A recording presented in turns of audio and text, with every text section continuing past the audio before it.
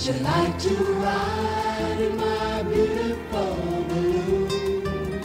Would you like to ride?